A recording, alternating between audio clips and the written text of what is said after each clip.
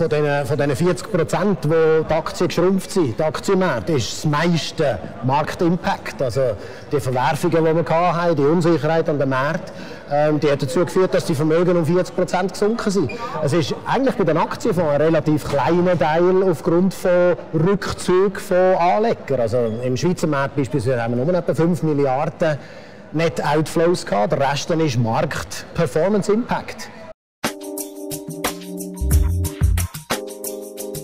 ich gehe schon davon aus, dass wir in Zukunft äh, mehr Schließungen werden sehen von Fonds, als wir das in der Vergangenheit gesehen haben. Weil, äh, wie Sie sagen, wenn, wenn die Volumen tief sind, muss man sich irgendwann einmal die Rentabilitätsfrage von einem Anlagefonds überhaupt noch stellen. Ähm, ich denke jetzt nicht, dass die grossen Anbieter Mühe haben. Die können solche Durchstrecken mit ihren Volumen noch gut durcharbeiten, ähm, aber viele kleinere Anbieter, die Nischenprodukte haben, die jetzt brutal geschrumpft sind, die müssen sich schon überlegen, wie sie in Zukunft weggehen. Ja, jetzt sind wir natürlich bei, einem Thema, das unglaubliche Breite hat.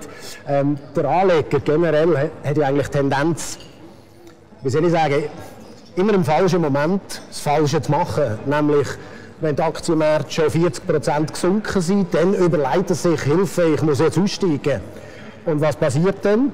Nun ist er nicht dabei, wenn es wieder zu einer äh, Rückbesinnung kommt an den Aktienmärkten. Und, und, das Gegenteil ist, er kauft am meisten, wenn äh, die Aktienmärkte an den Höchstständen oben sind und, und ähm, läuft damit vielmal Gefahr, nachher in Taucher rein investiert sind.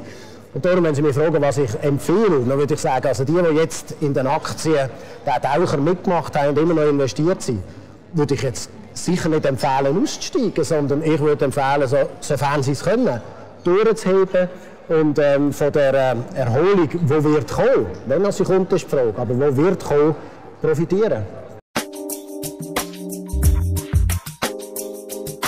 Das Anlegerverhalten hat sich verändert und zwar sehe ich eben, dass dass die Leute sehr, sehr äh, grossen Respekt bekommen haben vor Sachen, die sie nicht mehr verstehen.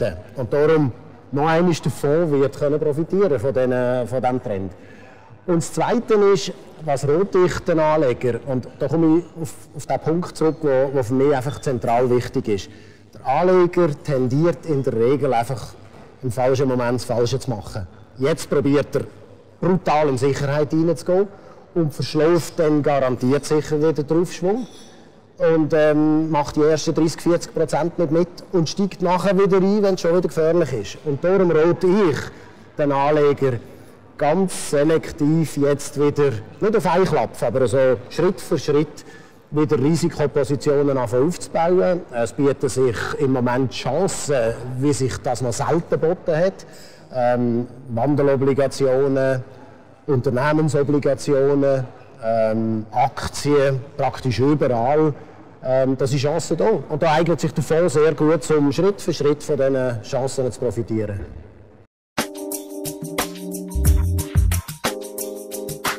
Ich habe mal, ähm, wenn man die Lipper-Statistik anschaut, dann kann man schauen, wie viel Social Responsible Investments eigentlich in unseren Fonds drin sind in der Schweiz. Und das sind etwa 12 Milliarden ähm, Fondsvolumen, die wir heute haben. Ähm, ziemlich stark wachsend, weil äh, es ist unbestrittener Trend Social Responsible Investments. Ähm, aber natürlich im, im, Vergleich zum Gesamtfondsvolumen ist es immer noch ein relativ bescheidenes Volumen.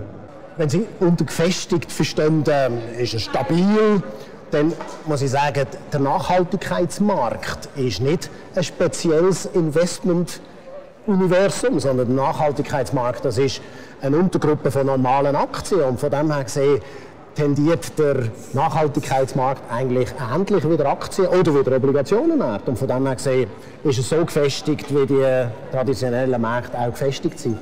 Wenn Sie aber unter gefestigt gesättigt äh, verstehen, dann denke ich, Nein, lange nicht, weil ähm, der Nachhaltigkeitsmarkt der hat eine grosse Zukunft vor sich. Das ist ein Thema, das immer mehr Leute beschäftigt und von dem her gesehen, denke ich, wir werden im, im äh, Nachhaltigkeitsbereich noch ein grosses Wachstum sehen in der Zukunft.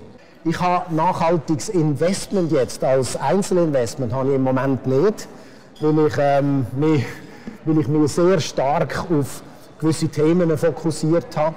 Ähm, wenn Sie mich privat fragen, ich bin, ich bin ziemlich stark in äh, alternativen Investments investiert in der Vergangenheit. habe jetzt das eher wieder ein bisschen abgebaut, weil ich parat möchte sein, um von neuen Trends können zu profitieren in Zukunft, von einem Aufschwung zum Beispiel an den Aktienmärkten.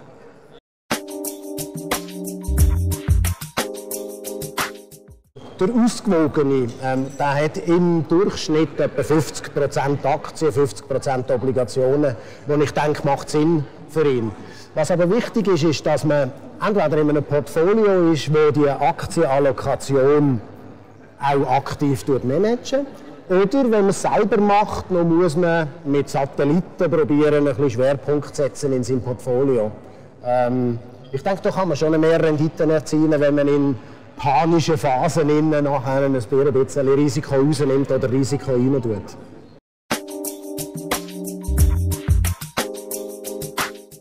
Das, das ist natürlich mein Lieblingsthema. Und also, ich bin überzeugt, dass der traditionelle Anlagefonds, gerade wegen der Krise, wo wir jetzt drinnen sind, ein Revival wird erleben. Ähm, wir spüren das auch bei unseren Kunden, dass ähm, wenn jetzt jemand wieder bereit ist zu investieren, und man sieht es übrigens auch an der Fondsmesse wenn jemand wieder bereit ist zu investieren, man möchte das mit einem verständlichen, transparenten, einfachen Produkt machen. Und da ist der Anlagefonds eigentlich das ideale Produkt dazu. Viele Kunden haben die Finger verbrennt mit komplexen Strukturen, die sie eigentlich nicht mehr verstanden haben. Die möchten wieder simple Sachen, die man dahinter sieht. Wissen Sie, wenn Sie, wenn Sie ein bewusstes Aktienengagement eingehen und sagen, ich möchte europäische Aktien kaufen, dann wissen Sie, dass Sie dort das Risiko eingehen und wenn der Aktienmarkt 40% verliert, dann sind Sie entweder mit sich selber nicht zufrieden, dass Sie jetzt den Aktienmarkt gewählt haben, oder Sie sind mit dem Produkt nachher nicht zufrieden, wenn das Produkt minus 50% macht. Aber wenn das Produkt minus 30 macht, sind Sie eben mit dem Produkt zufrieden. Die grossen Enttäuschungen kommen dort, wo ich in etwas investiere, wo mir irgendetwas versprochen wird und am Schluss kommt etwas ganz anderes raus und ich verstand es nicht, warum es so rausgekommen ist.